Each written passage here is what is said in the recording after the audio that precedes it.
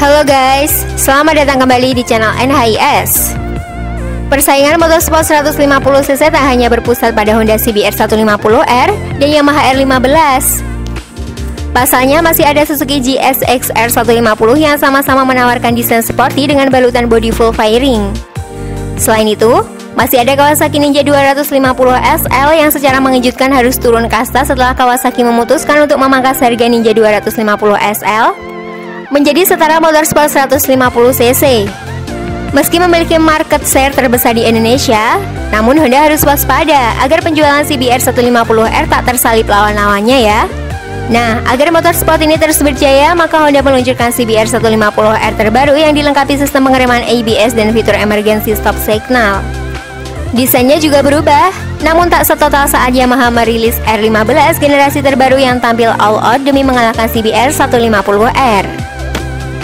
Dan inilah Honda CBR 150R 2019 versi NHIS. Namun sebelum lanjut, klik like,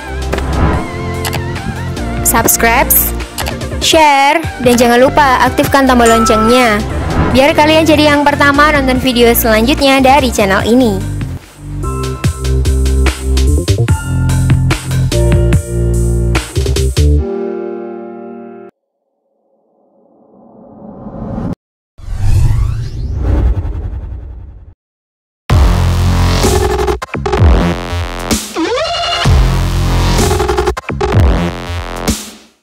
Dimensi.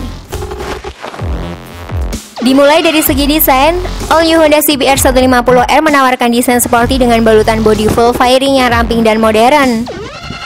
Motor ini menawarkan sensasi berkendara layaknya mengendarai motor balap dengan riding position sedikit membungkuk. Walaupun memiliki posisi berkendara yang cukup resi, namun kalian tidak akan merasakan pegal di bagian punggung sehingga bisa berkendara dengan nyaman guys. Bodi CBR 150R memang tak sebesar Yamaha R15, sehingga kemampuan manuvernya jauh lebih baik. Di mana untuk dimensinya berukuran panjang 1983 mm, lebar 694 mm dan tinggi 1038 mm. Bobot keseluruhan All New CBR 150R 2019 lebih ringan dibandingkan Yamaha R15, yakni seberat 135 kg. Sedangkan untuk R15 mencapai 137 kg. Tentunya hal ini membuat CBR 150R lebih nyaman saat diajak bermanuver maupun cornering ya. Selain itu, motor ini memiliki jok setinggi 787 mm dan jarak sumbu roda berukuran 1311 mm. Joknya tergolong rendah dengan ground clearance 166 mm yang membuat kaki menapak sempurna tanpa perlu cicit balet. Nah, siapa nih yang tertarik dengan Honda CBR 150R ini guys?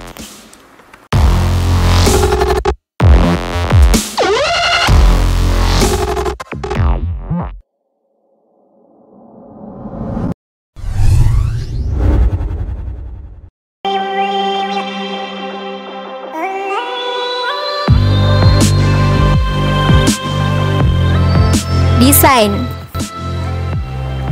Soal desain tak perlu diragukan lagi All New Honda CBR 150R 2019 memiliki desain lampu baru yang dibuat runcing dan sporty Lampunya terlihat lebih sipit dibandingkan CBR 150R generasi sebelumnya yang sudah menggunakan teknologi LED yang memberikan penerangan maksimal saat berkendara di malam hari.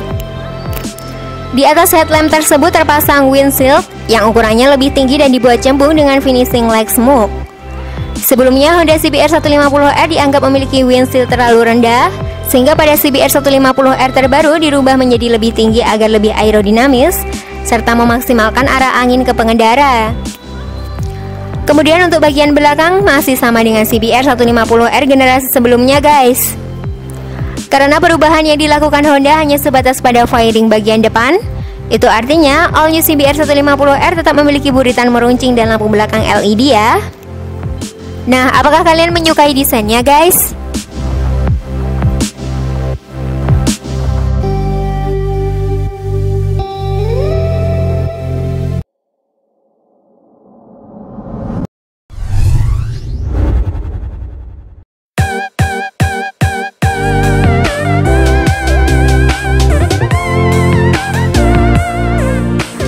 Performa mesin Selanjutnya soal dapur pacu Honda CBR 150R 2019 ditenagai mesin DOHC 4 katup berkapasitas 149,16 cc.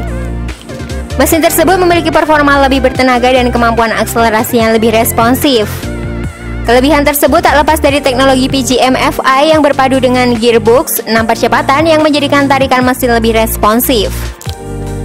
Lalu untuk tenaga maksimal yang bisa dihasilkan adalah sebesar 12,6 kW atau setara 17,1 PS yang diraih pada putaran mesin 9000 RPM. Tenaganya lebih kecil dibandingkan Yamaha R15 yang menggunakan mesin SOHC berkapasitas 155 cc dengan tenaga sebesar 14,2 kW pada 10.000 RPM. Wajar apabila Yamaha R15 lebih bertenaga karena pada dasarnya motorsport Yamaha tersebut memiliki mesin berkapasitas lebih besar ya. Kemudian untuk torsinya, Honda CBR 150R mampu memuntahkan torsi sebesar 15,4 Nm pada putaran mesin 7000 RPM.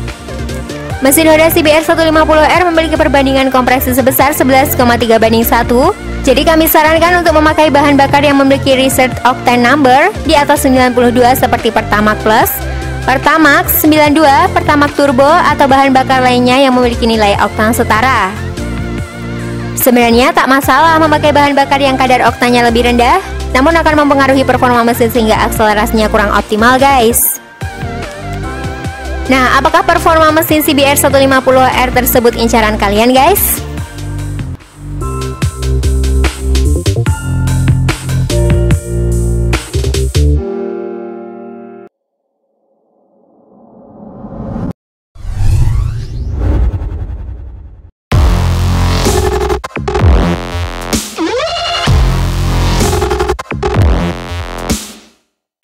Suspensi Berlanjut ke sektor kaki-kaki, all new Honda CBR 150R tetap setia memakai suspensi depan teleskopik dan suspensi belakang monoshock rolling yang semuanya dapat diatur sesuai kenyamanan pengendara CBR 150R ya. Ada saja motor ini memakai upside down layaknya Yamaha R15, tentu akan jauh lebih menarik. Mungkin Honda sengaja tak melengkapinya dengan upside down agar Honda CBR 150R 2019 tetap terjangkau bagi masyarakat Indonesia ya. Yang paling penting suspensinya dapat diatur sesuai kenyamanan berkendara, jadi tak masalah apabila belum menggunakan upside down. Kemudian untuk bagian bannya menggunakan ban tubeless merek IRC RX 01 dengan ukuran 100 banding 800 R17 pada roda depan dan 130 banding 70 R17 di roda belakang. Ukurannya lebih kecil dibandingkan ban Yamaha R15 yang berukuran 110 banding 70 R17 untuk ukuran roda depan dan 140 banding 70 R17 untuk ukuran roda belakang.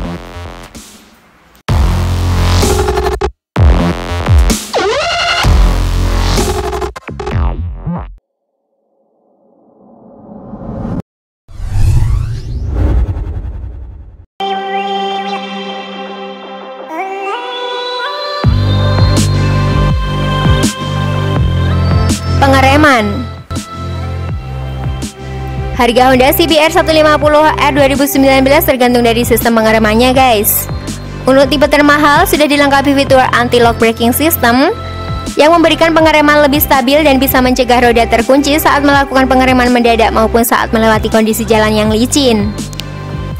Tak hanya itu, Honda juga membekali CBR 150R dengan fitur emergency stop signal yang akan memberikan signal lampu hazard saat melakukan pengereman mendadak.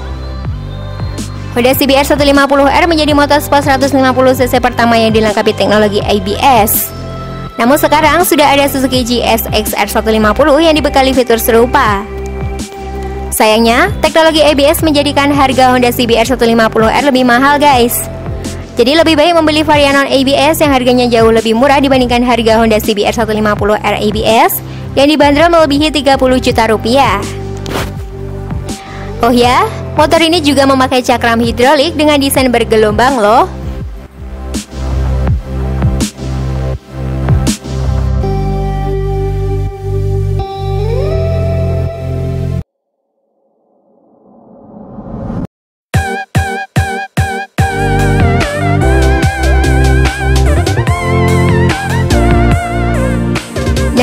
Tadi ulasan mengenai Honda CBR 150R 2019. Apakah kalian tertarik dengan motor ini guys? Atau mungkin kalian lebih tertarik membeli Yamaha R15 atau Suzuki GSX R150 yang sama-sama bersaing di kelas 150cc. Share pendapat menarik kalian di kolom komen ya. Semoga informasi tadi bermanfaat. Terima kasih sudah menyaksikan channel kami. Sekali lagi mari membangun channel NHIS dengan cara klik tombol subscribe, like, share, dan aktifkan tombol loncengnya. Sampai jumpa di video berikutnya. Jangan lupa tonton video-video yang lainnya ya.